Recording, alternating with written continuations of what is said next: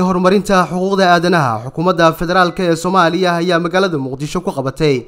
Aqoon iswadaarsi ku saabsan dib u eegista dastuurka iyadoo laga eegayo qodobada la xiriira xuquuqda aadanaha iyo ilaalinteeda. Kulanka oo laba maalin socday waxaa xiritaanka ka qayb galay agaasimaha guud ee wasaaradda haweenka iyo mas'uuliyiinta wasaaradda gaar ahaan agaasimayaasha. Isxaaq xaashi jimcaale agaasimaha guud ee wasaaradda haweenka iyo horumarinta xuquuqda aadanaha xukuumadda federaalk soomaaliya oo kulanka soo xiray ayaa ka sheekeeyey doorka xuquuqda aadanaha iyo dastuurka soomaaliya. Qof walba wuxuu jecel yahay inuu xaqiisa helo. Saa xaqaaga ku heli lahayd waayo horta waxa laga hadlaayo. Maalin horena waan sheegay cilladda oo diideyso in xuquuqda aadanaha laga hadlo waa luqadda iyo meeshii ay naga soo gashay. Human rightsaa la sheegay afgaaleed waaye hay'ado gaalaa wadaan waa ka didnay. Istaadkaasaan u mahad celinayaa istaad magacaa cabdinuur miya maxamuud maxamuud islaamug nooga dhigay. Haddii intaas ay noo soo hormari lahayd mar horaan qaadan lahayn qodobadan iyo wax lamidka ah iyo xuquuqdeena u doodi lahayn. Laakiin waxaa noo soo hormaray wax oo curfigeenna iyo dhaqankeenna iyo aan ka didayno aan noo soo hormaray.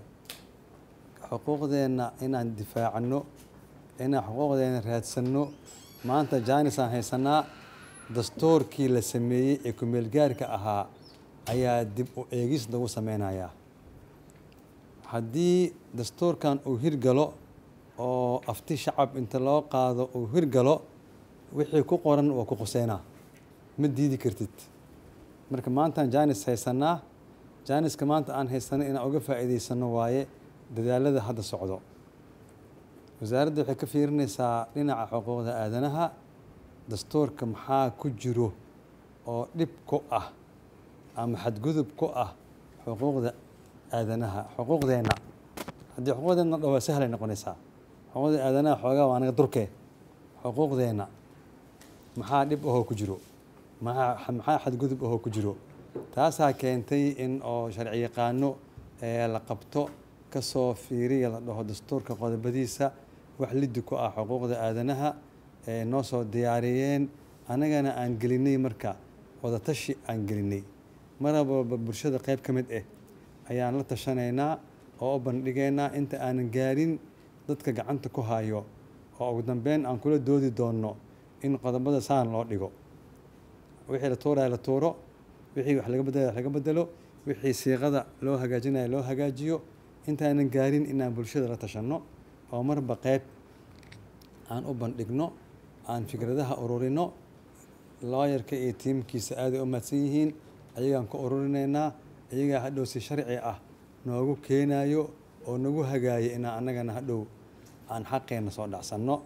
Ujeeddada ugu weyn oo loo dadaalayo loo ordayo intaas waaye waa wax na wada anfacayo waaye dhammaanteen. Berina aan u aayi doonno. Haddii aan maanta dadaali weyno beri wixii naga hoos baxo waa qaadanaynaa.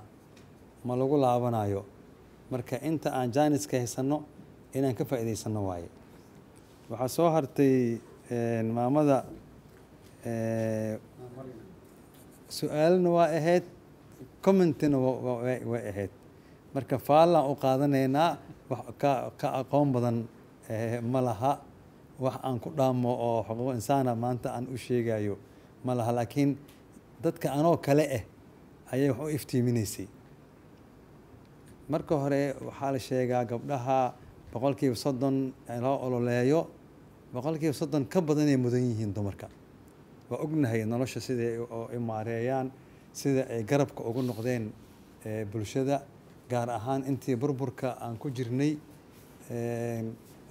markii loo fiiriyo suuqa iyo nolosha ciyaalka iyo nolosha qoysaska kaalin oo weyn ayay ka qaateen. Midda kale waxaa la dhahaa dumarka ma lagu xanto wax la xado ma lagu xanto dulmi ma lagu xanto. Marka ayagaa noo fiicanba anaga inay meelo badan oo muhiima ay noo galaan. Ragga waxaa lagu xantaa inay tuugan yihiin waxaa lagu xantaa inay dulmiga ku degdegaan. Dadka la leeyahay xuquuqda aan ka dhacsanno ayaga waaye. Ragga waaye dumarka ma ku jiraan. Marka soddon iyo afartan iyo kontonbo waa mudan tihiin. Insha allah waa dadaaleynaa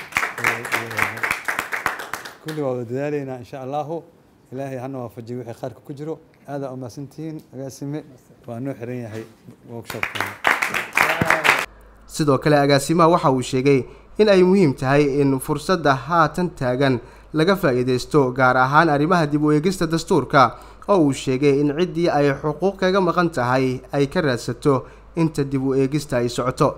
Zakariya axmed muuse t v-ga shabeelle muqdisho. Premier wallet waa ablication cusub oo uu kuu keenay premier bank faa'iidooyinka premier wallet waxaa ka mid a waad iska diiwaangelin kartaa adigoo jooga goobtaada. Dadkaan akawnka ku lahayn bangiga premier waa ay iska diiwaangelin karaan. Premier wallet dukaamada iyo ganacsiyada kala duwan ayaad wax uga iibsan kartaa.